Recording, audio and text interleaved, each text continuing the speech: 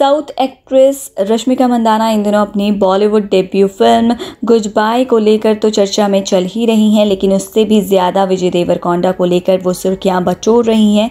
अक्सर ही ऐसे कयास लगते आए हैं कि दोनों एक दूसरे को डेट कर रहे हैं। इन दिनों रश्मिका मालदीव्स में छुट्टियाँ बिता रही हैं। वहीं ऐसी अटकलें लगाई जा रही हैं कि उनके साथ विजय भी इस वैकेशन पर गए हैं। सात अक्टूबर को दोनों एक ही टाइम पर एयरपोर्ट पर पहुँचे थे। आ, इसी बीच अब एक्ट्रेस ने विजय संग अपने रिश्ते पर चुप्पी भी तोड़ दी है। रश्मिका ने विजय देवरकोंडा के संग रिलेशनशिप में होने की खबर पर अपनी बात रखी है। उन्होंने कहा है कि मैं विजय के काफ़ी करीब हूँ और इंडस्ट्री में अगर मुझे कुछ भी पूछना होता है तो मैं जाकर उनसे पूछती हूँ। हम वास्तव में एक दूसरे के बेहद ही करीब दोस्त हैं। हम एक दूसरे के साथ चीज़ों को शेयर करते हैं, उन पर चर्चा करते हैं। वहीं अगर घर बसाने और रिलेशनशिप की बात है तो उन्होंने कहा कि मुझे लगता है कि रिलेशनशिप एक ऐसी चीज़ है जिस पर आपका काफ़ी समय और एफ़र्ट्स लगते हैं।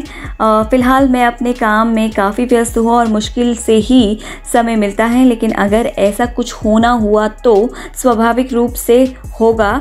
साथ ही शादी की खबर पर उन्होंने साथ ही साथ ये भी कह दिया है कि कम से कम अगले पाँच सात सालों तक शादी वो नहीं करने वाली है। वेल, आप इस खबर पर अब क्या सोचते हैं? क्या रश्मिका मंदाना को, विजय देवर कौंडा को साथ में जल्दी शादी कर लेनी चाहिए? या आप हमें कॉमेंट करके ज़रूर बताएँ। वीडियो पसंद आए हो तो इसे लाइक और चैनल को सब्सक्राइब ज़रूर कर दें।